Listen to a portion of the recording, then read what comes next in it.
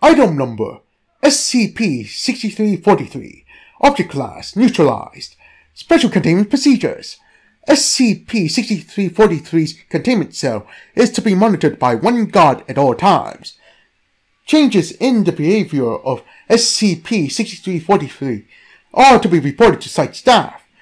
All attempts to open or otherwise access SCP-6343 are to be made until further notice.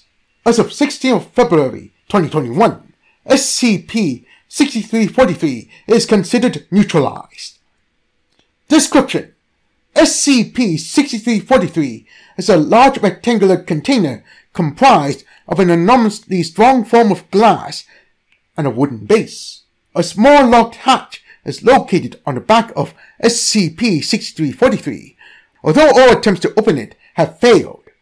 A metal plaque is attached to the base of SCP-6343 with the word, The Amazing Non-Existing Beast, present on surface. Several objects are contained within SCP-6343.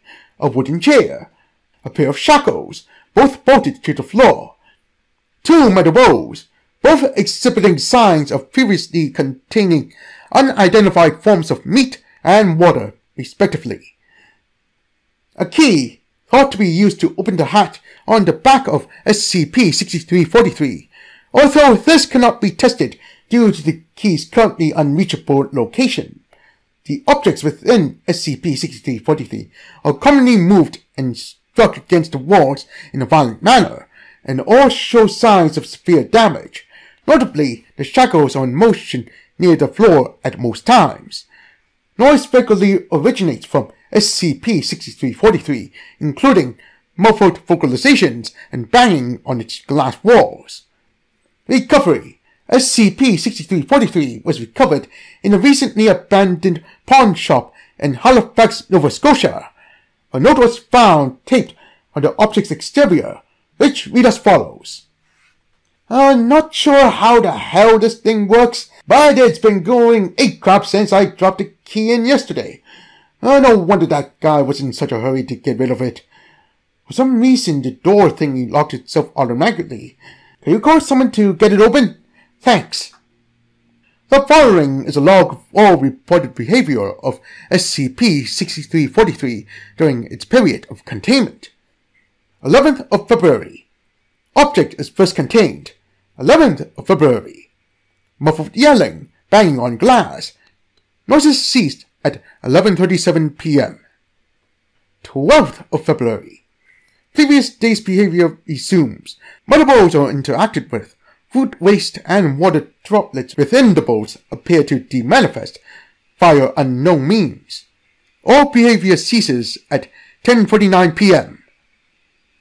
13th February. Previous day's behavior resumes.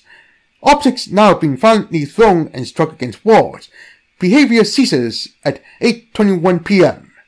14th of February. Behavior resumes with much less frequency Vocalizations are reported to sound much less aggressive in tone. Ceases at 5.44 p.m. 15th of February. Behavior resumes later than normal. Now exclusively consists of infrequent moaning. Ceases at 1.30 p.m. 16th of February. No activity until 9.29 a.m. when a loud thump is heard from SCP-6343, shackles and chair are moved from their prior position. All anomalous activity from within SCP-6343 has ceased since 16th of February 2021, and the glass comprising its walls was able to be easily broken the following day. With the exception of the previously mentioned objects, nothing was found inside.